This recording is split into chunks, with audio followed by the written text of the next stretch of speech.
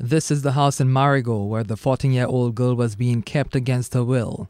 She was found on a mattress, bound and gagged.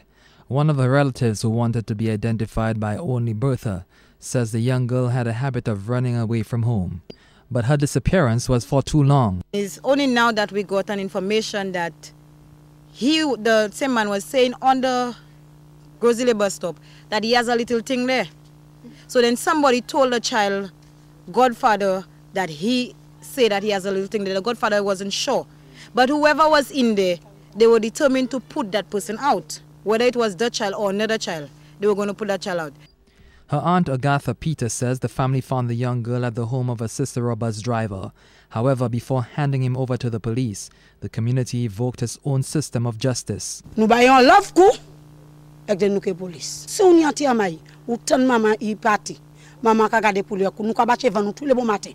Se la vana e ki nou ka bache ou. Mama ka bache ou, nou tout ka bache ou. Ou ni chek ka ni timala pou mawe yin. Dan nou timala timala mawe, bouch ni mawe, dan me mawe, ek ni an goti chet li men bougla an lay, ek den nou timala an di dan kay la.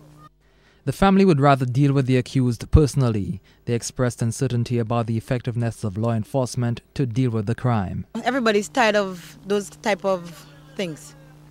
And in our case now, we're happy that we get her back. But we're even more upset that we're not even sure as to what the law will do with him. So if the law will hand him over to us, better for us. Tout komite a jos, si yo ni se finepi. Se sa ki la, se se kwa nou kwa we. Tout moun la, pa nye yon ou sa di bota bota. Because ou la kwa we sa se really, yo ka di moun ka chwe, but sa sa criminal, sa se really an criminal la ou. Because pa ka di moun yon ti may, ou ka ten, ba mama, ou se fami nou la, nou ka bache ven, nou ka nou ka pale, ek ou ti mal la 3 simel, ek bien ma we, ki sa ti man ka manje. Ek le nou ka man, nou ka na vie goti shotou, an lei. The young girl who attends the Marigot Secondary School had gone missing since August, and police and family had been searching for her since then. The authorities believe the young girl was being raped continuously by her alleged kidnapper. Clinton Reynolds, HTS News, Channel 4.